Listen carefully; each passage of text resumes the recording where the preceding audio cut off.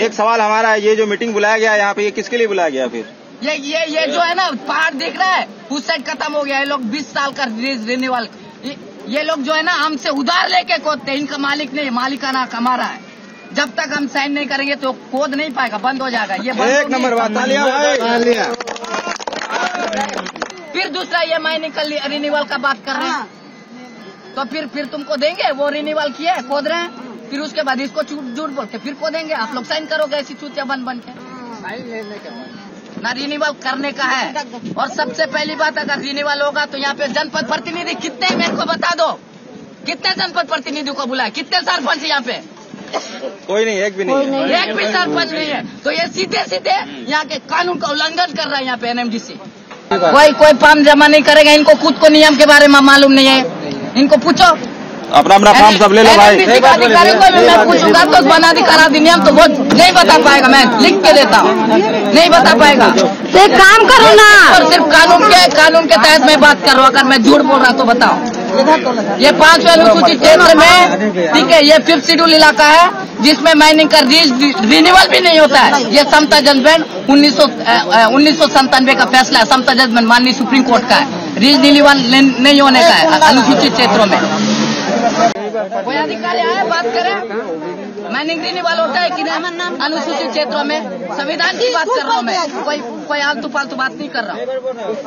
पेशा कानून और पांचवी अनुसूची का भी ये लोगों ने पालन नहीं किया जिसमें पेशा कानून उन्नीस सौ तिरानवे का ये लोग लिखते पेशा कानून उन्नीस सौ तिरानवे लागू नहीं होता है यहाँ पे। पेशा कानून उन्नीस सौ छियानवे लागू होता है जिसमें पांचवी पांचवी अनुसूची और पेशा कानून उन्नीस सौ छियानवे का जब अगर कानून बोलता है तो ये लोग की पूरा पसीना निकल के हाथ में आ जाएगा इनका रिन्यूअल नहीं होगा। ये किस ये ये क्यों झूठ बोल रहा है भाई कोडेनार का सरपंच? सरपंच नहीं है। क्यों झूठ बोल रहा है कोडेनार का सामने लाओ। सामने लाओ। जवाब देगा। इस क्षेत्र का इस क्षेत्र का जनपद सदस्य कौन है? आप लोग को मालूम है? जिला पंचायत सदस्य कौन है? कुछ नहीं पता? कुछ पता नहीं। भैया जबकि सबसे पहले तो यहाँ पे जिला पंचायत सदस्य और सरपंचों को उपस्थित करना था उनके साथ विशेष चर्चा होना था।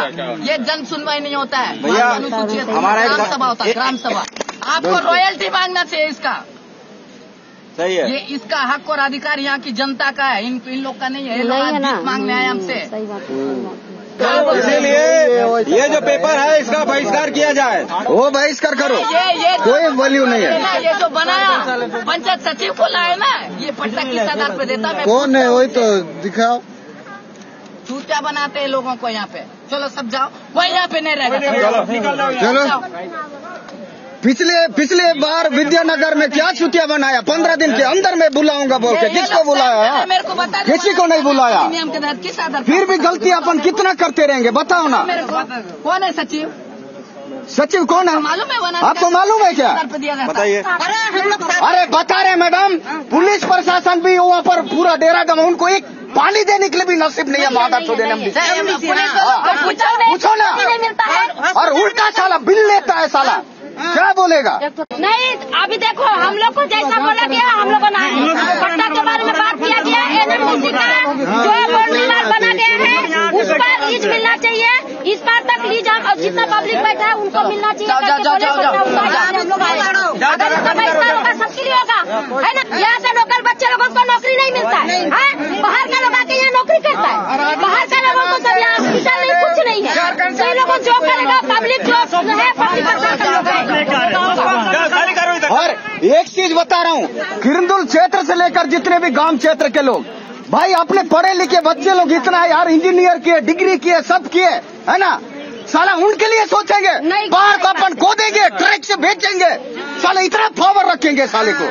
ये क्या है? कब तक ये सब बेरोजगार बनते रहेगा अपन? मैं बिल्कुल और बिल्कुल कानून के आधार पे बोल रहा हूँ ये पूरा जब जब साले अपन को इतना बेवकूफ़ी बना रहा है एनएमडीसी क्या किया आज तक? आप लोग कितने साल से यहाँ पर आए आप लोग को कुछ किया? पचास साल नहीं साल से हर कोई धूल खा रहा है। ना पानी दिया ना साला बिजली दिया ना कुछ दिया।